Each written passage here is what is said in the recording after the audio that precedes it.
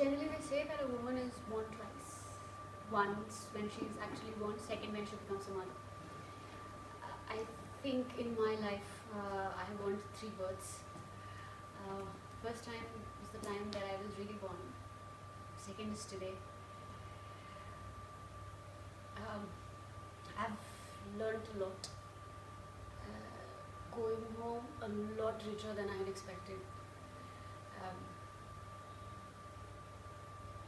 leaving here things that I did not want. Uh, leaving here things that were stopping me from becoming who I could be. Um, my own limitations, my own beliefs which were limiting me. So uh, thanks a ton.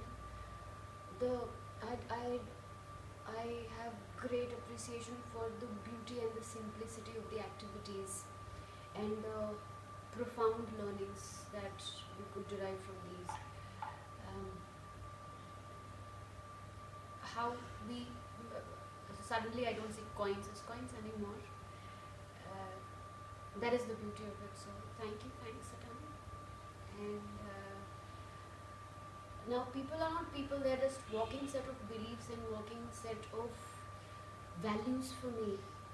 Uh, now it will be easier for me to forgive people because uh, now I have the realization that they are doing something or they are saying something because of a certain belief that they might have uh, evolved or they might have gotten from their birth, from their wombs.